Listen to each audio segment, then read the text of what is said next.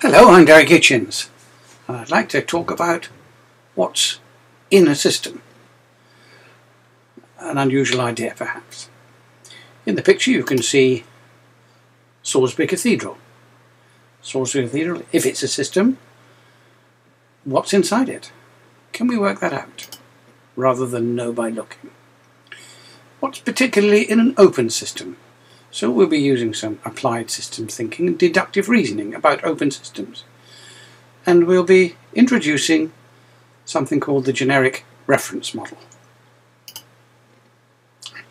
What is an open system? Well, there's lots of views about this. Some people view systems as abstract mental constructs only. I take a somewhat different view. I think it's more useful to pursue an organic metaphor in which systems are real, complex, functional, and either purposive or purposeful. Fundamentally, a system is a whole something, complete. A cell, a person, a team, a process, an economy, a strategy, an egg, an airplane, our sun, or a cathedral. Nature is observed to make only wholes, whence holism. Systems may present an external boundary. Not all of them do. An economy, for example, doesn't necessarily present an external boundary. An open system exchanges energy, material and information with its environment through its boundary, if any. Suggesting that inflows of energy, material and information may be connected by internal processes to outflows. But what else might be deduced to exist within an open system? Let's find out. Let's start by looking at classic systems theory. In systems theory, a system uh, comprises open interacting subsystems, themselves having the characteristics of systems. Each subsystem exhibits emergent properties uh, which arise from interactions with all the other subsystems and from hidden internal parts and their interactions, which we can't see. From that you may deduce that system, subsystems can be understood only in the context of their dynamic operation in the whole. Isolated subsystems would not exhibit the same emergent properties, capabilities and behaviours, which might seem a bit curious, but it does follow. For example, the human cardiovascular system, or the central nervous system, or the command and control system. You can only understand each of those in the context of, for example, the whole body or uh, the whole military organization or whatever. Okay. Another way of looking at systems, in the abstract at least, is, uh, is as capable of being or doing or thinking or any combination of those. All systems tend to have being and existence, if only as perceptions of wholeness. Some systems, on the other, hand, also do, that is, perform functions. And some systems think, and we can see that by their behaviour. So, for example, the solar system has being, but it doesn't appear to do much, or think at all. An elevator, on the other hand, has being, does things, performs functions, but does not think. A person has being, does many things, and thinks too, which may appear as behaviour. So we can categorize systems as being, or being and doing, or perhaps being, doing, and thinking. So they're not all the same, but we can take a common approach to all of them using that method. Being, doing, and thinking then. So in terms of being, doing, and thinking, what systems are the following? Is that thinking? What's that? Oh, that's kidney function. And there's the solar system, and we've already discussed that has being, but doesn't do anything. It doesn't perform a function. Mm. It has no apparent purpose, for example. So the general idea, what would you expect to find inside any system? I would expect to find parts, like the organs in the body. Or they should be subsystems, organic subsystems, with one or more e organs each, or and interconnections. And this diagram here, which is uh, one I picked up from the web, is rather delightful. It's an abstract view of systems. You can see the system in the middle. There it is. And there's a self-produced boundary around there. And you can see it's coupled to uh, another system over here. There's an environment and there's a perturbation from another system, although they're not directly coupled. And you can see there's a flow through with input coming in here and output there. So it's an open system in context. And that's a rather delightful view, uh, uh, abstract view of systems. As we have said, open systems exchange energy, material and information with their environment. That's by definition. So they may adapt to the change. Um, cells are open, for example, with semi-permeable membranes. Humans, factories, the sun, universities and schools, families, all are open systems. And you can see here on the diagram, now this open system has energy coming in. We're not sure what goes inside, but there's energy coming out as well. There's material going in, something's happening in the middle perhaps, material coming out, and there's information going in. Does anything happen in the middle? And information is coming out. We're really interested in the bit we can't see, what's going on in the middle.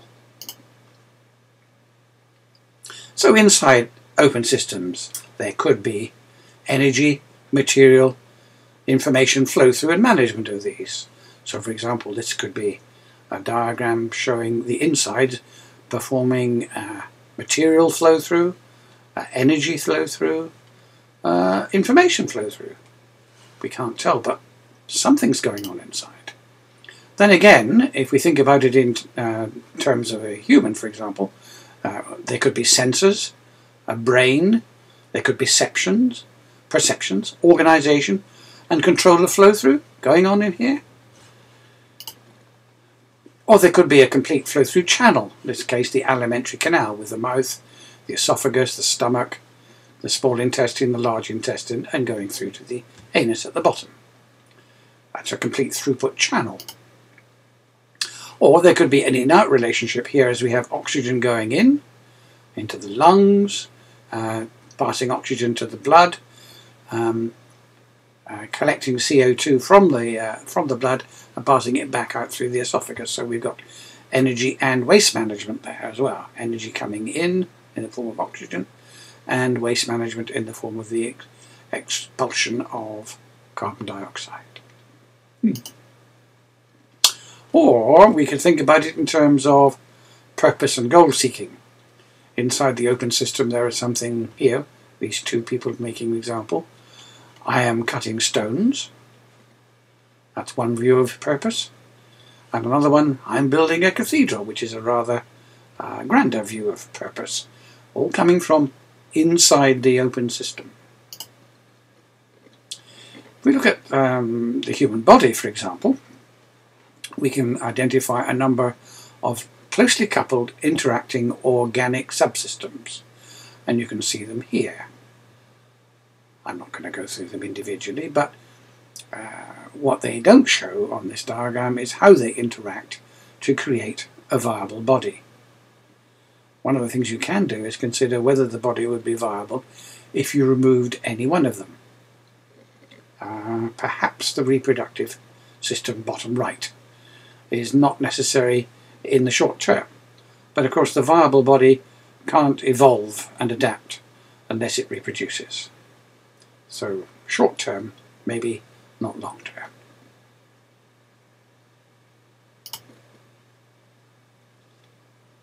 Now from the, uh, the living systems, which share many of the same internal systems, we can look perhaps towards uh, man-made systems.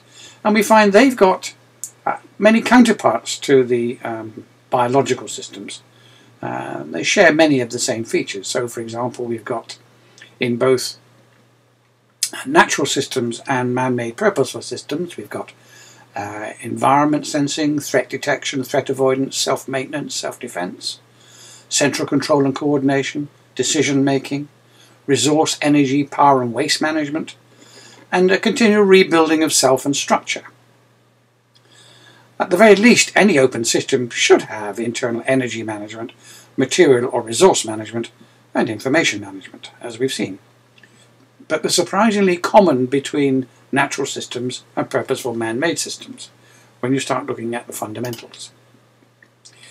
Think about it in factory terms. Here we've got material coming in, product coming out, the various processes in the middle have to be energized, and it's been being continually upgraded and rebuilt, which requires energy. And there's a product demand, so there's information flowing in the right there and coming out uh, on the left. Put the lot together, and you can see that we've got material in, information in, energy in, uh, we've got product out, dissipation out, waste out, um, and we can see from the uh, from the words that there's a major difference between natural and man-made systems, and this is quite an important idea. Natural systems extract energy from the flow-through, and they rebuild themselves also from the flow-through. Man-made systems, on the other hand, use money as an exchange and control medium. Our product sells for money, buy new material in, energy supplies are bought, you maintain and upgrade and rebuild the machinery, uh, enhance operator skills, pay wages, advertising, recruiting, all from the profits. So it doesn't rebuild itself in the same way.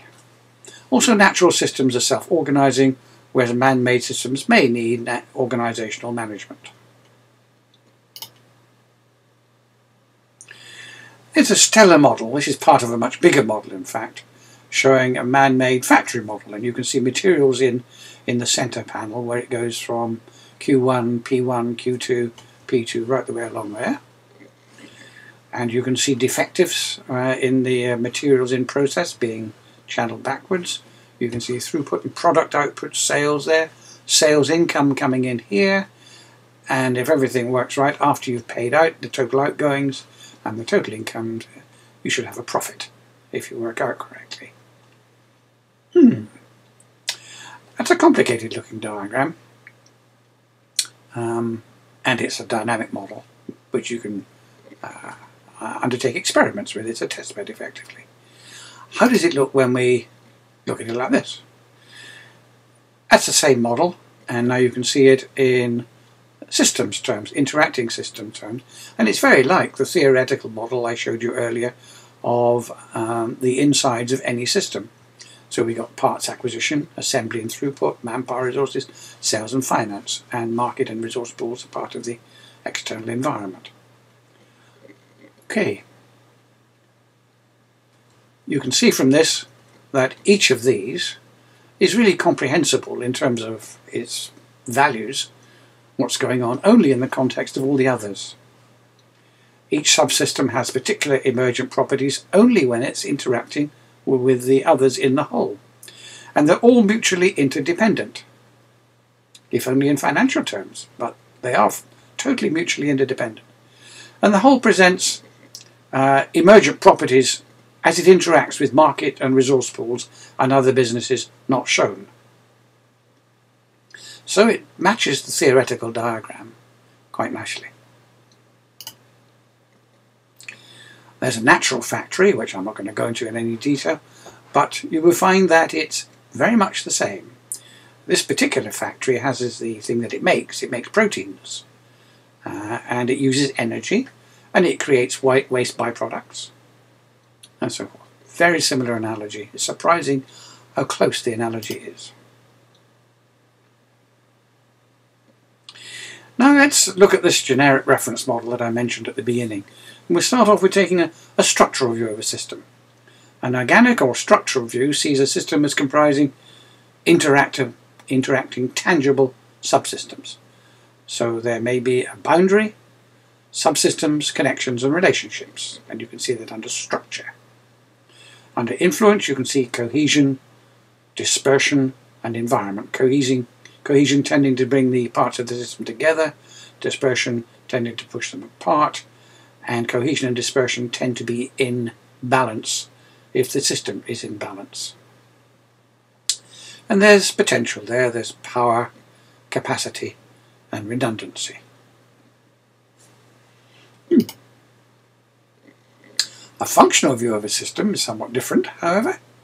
You can see here it comes under uh, three simultaneous headings, mission management, viability management, and resource management. Uh, these uh, can't be seen uh, separate from each other. They're simultaneous individual aspects of the whole. Let's look at that in a bit more detail. Mission management at the top here sees uh, some external operational environment from which uh, it's necessary to collect information, set and reset objectives, strategize and plan, execute the plan, and cooperate with others if necessary in the environment. Um, and take that action goes into the operational environment, changing what's going on in the environment, and so you have to collect new information. So this is a continual process of mission management. Similarly at the bottom, with resource management, there's considered to be some external resource environment from which you can acquire resources, store the resources, distribute the resources within the system, convert and utilize these resources, and discard any excess or waste or product. And then there's viability. Viability in the middle. Now that comes as SMESH as an acronym. And we start off with synergy. All the parts within the system have to cooperate, coordinate and complement each other. And uh, that leads to survival in the ability to avoid detection, self-defend, tolerate damage and even repair damage. Then there's evolution, the ability to accommodate, adapt and advance. And maintenance, the ability to detect, locate, replace and remove uh, all of which leads to homeostasis, the dynamic equilibrium within a system or the ability to maintain internal environment. So these are all aspects of a system which will allow it to pursue purpose, to continue to work. This is the energy supply. And here we can see uh, the ability to persist in the event of external threat, internal threat of defect, and changes in environment.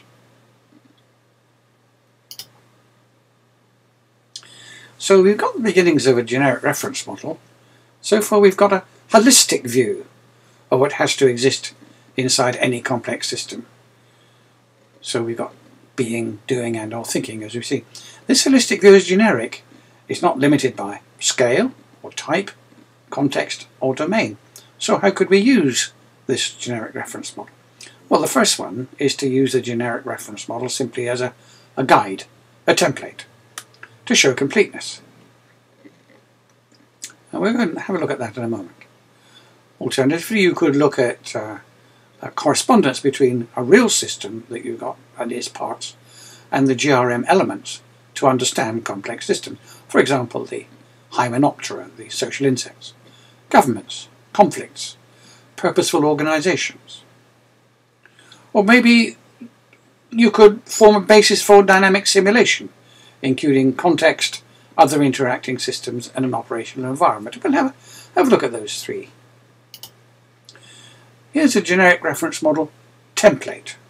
This is function management, and as we've already seen, that's made up of uh, mission management, viability management, and resource management.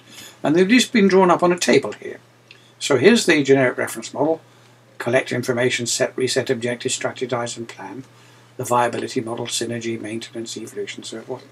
And the resource management model, acquire, store, distribute resources, etc. And here's some system of interest we're going to examine and we've left blanks to be filled in. So, to appreciate a complex system, fill in the blanks for the chosen system of interest, e.g. a hive of honeybees, an army tactical unit, a manufacturer, emergency, emergency services, air traffic management, disaster relief organisation. Well, I don't know. Let's start off with a, a hive of honeybees. How do we collect information? Well, we have bees going out uh, looking for um, uh, nectar. Um, we're all familiar, I hope, from having seen uh, nature programs with the honeybee dance where a bee that has found some uh, interesting amounts of nectar comes back and does a wiggle dance on a so-called dance floor to show the um, quality of the source of nectar the direction and the distance of the source of nectar. And um, that, that information uh, allows the bees, uh, the other bees, to uh, choose to go after that uh, fresh new source. And we can go through and cover all the others. Uh, acquiring resources, well, we looked at that. Storing resources, we know what honeybees do. Uh, they store resources in um, wax. they distribute the resources by feeding the young, particularly and they convert the resources into um, fresh fresh babies, of course, and they dispose of the waste, including dead honeybees, because the honeybees have um, some bees that are looked at as undertakers. Um, the synergy of honeybees, worker bees, is um, very well understood. They maintain themselves by discarding uh, and keeping the place clean. Um, evolution is something that's happening very, very slowly and needn't bother us at the moment. Survival, they're well able to defend their hive and, if necessary, to pick up their young and create a new hive. And homeostasis, they even have air conditioning within hives to keep the temperature uh, at the right level. You could um, do this for each of these emergency service air traffic. Disaster relief organisation is quite an easy one uh, and also quite simple. Try it, it's good fun. Some systems think and behave. Some systems exhibit behaviour, which is response to stimulus. Simple systems have a knee-jerk, instinctive behaviour. For example, a, uh, a burglar alarm, a tripwire, a wasp sting.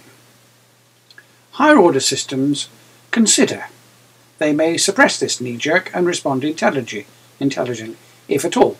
For example, uh, in boxing, quite often um, uh, an intelligent boxer will ignore um, a feint um, uh, from a, uh, an attacker. Higher order systems may not respond in the same way every time to the same stimulus. My favourite example is when a woman slaps a man's face. He may flinch, raise an eyebrow, but otherwise do nothing. If the woman slaps him again, he may duck, he may deflect a blow, he may retreat, or some men may even strike back. The situation, relationship, and previous experience, cultural beliefs uh, all help to colour behaviour. So, how can we understand behaviour?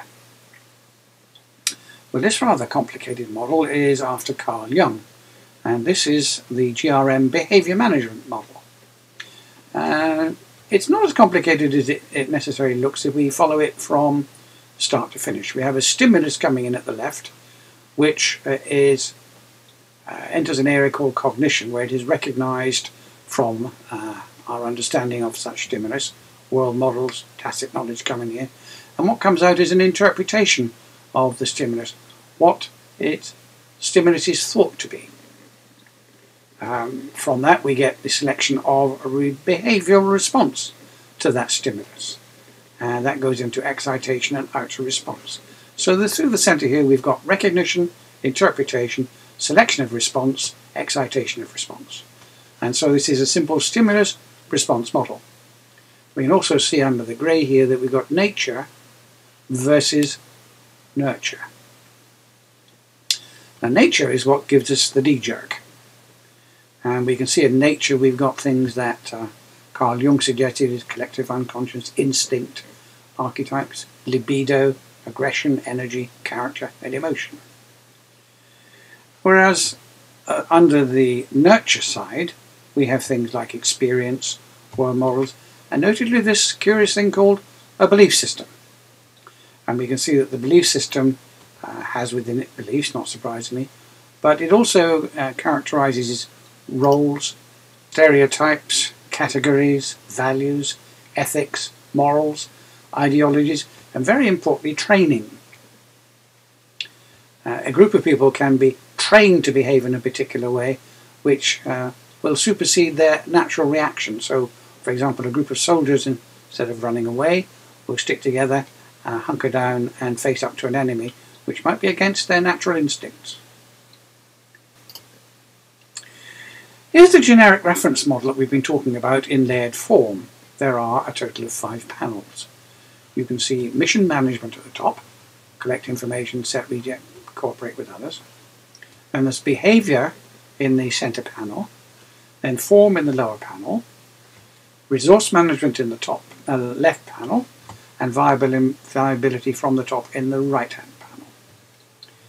Uh, all is happening all at once, so this is very much um, um, sequential, parallel, all going on at once. You can't take one aspect of it and treat it as independent.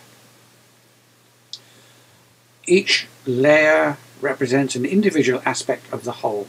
None can be considered separately. The GRM may also be used as a basis for um, looking at simulations. And here I've got two competing uh, organizations. Uh, here's one and here's another. They're competing within an environment. And you can see that uh, each of these has got mission management, behavior management, form management, viability management, and um, the resource management is coupled to the outside world through a logistics system. So the logistics system is effectively keeping it supplied. And there's a procurement system here is effectively adding in new bits and replacements to enhance it. And exactly the same going on over here in parallel. All right. So we've got two competing systems and they are being fed uh, with logistics and uh, upgraded equipments from outside.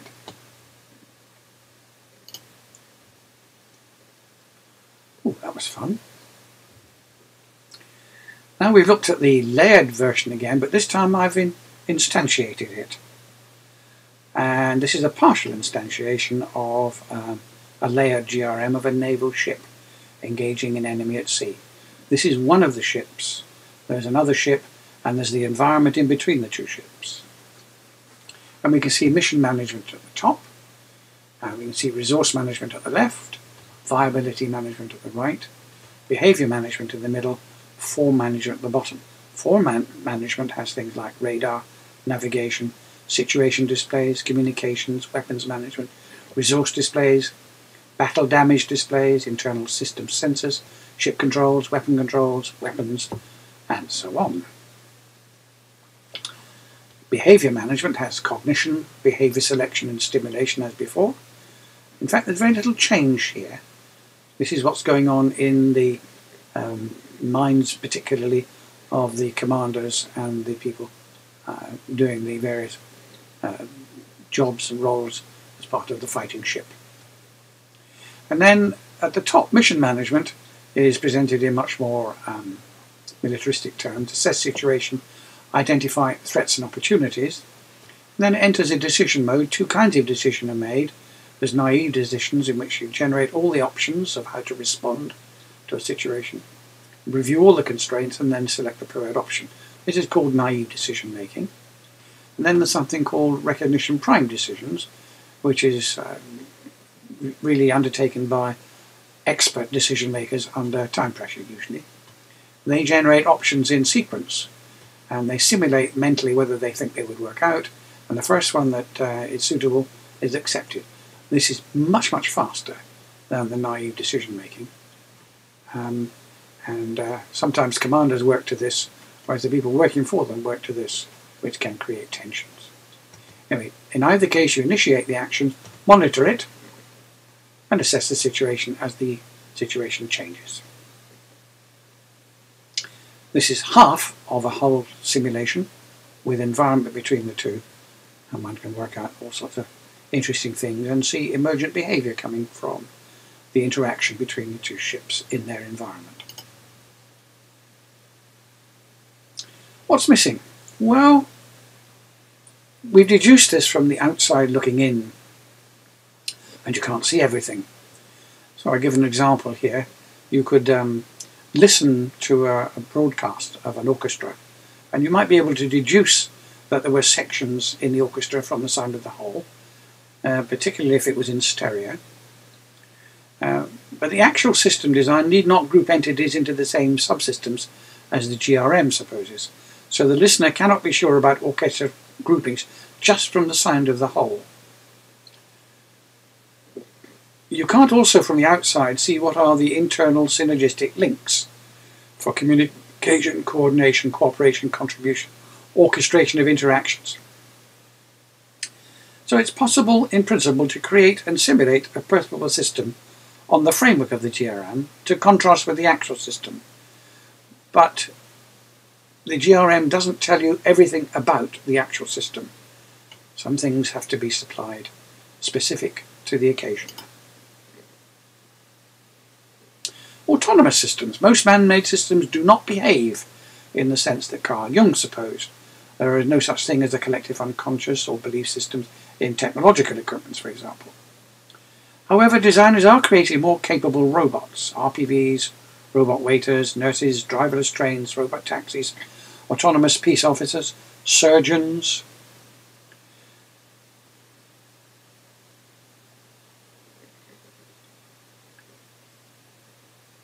Reaper.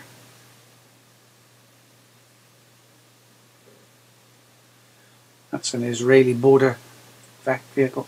Automatic surgeons. And that's automatic nurses. Autonomous nurses. The time is ripe, I'm suggesting, for such autonomous systems to make decisions to choose between options. And that involves ethics, morality, beliefs, conscience, and tacit knowledge. No mean challenge. But that is the challenge that's facing us in the near term future. So there we are. What's in an open system? It is possible to deduce what's inside an open system, and to be right, in minimalist terms. There could be much more in a system than can be sensibly deduced from the outside. For example, thinking that does not necessarily result in visible behaviour. There could also be complexities to address a wide variety of contexts, past, present and future, and contingencies. And there's things about the open system that you might not understand. I show the pyramid there.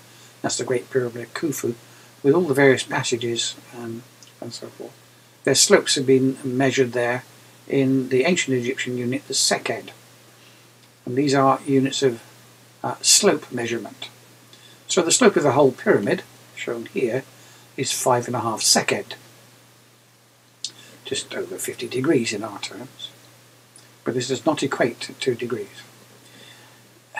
If you look at it in degrees, these various slopes, this one, for example, is 45 degrees, and uh, that's 7 seked. Now, this is 14 seked, which is exactly uh, half the slope, because the numbers work in the wrong direction. The smaller the number, the bigger the slope. Right. Uh, but this is exactly half in seked terms, but if that's 45 degrees, far from being at 22 and a half degrees, this is 26 and degrees because it's a slope measurement. So if you measure in degrees, you miss something out. Measure in seked and you find that is bisected to give you that. That one is bisected to give you the slope of the pyramid. And we have these two are both the same. They're both eight and a half. But you might notice that five and a half plus eight and a half gives you 14. So there appears to be something else going on here uh, to do with numerology or magic or some form of numerical completeness.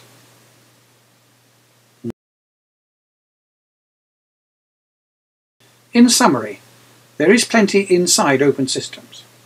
There's flow through, organized structure, uh, and inflow of energy, material, and information. Sensors, processors, and effectors enable functions to be energized from the flow through.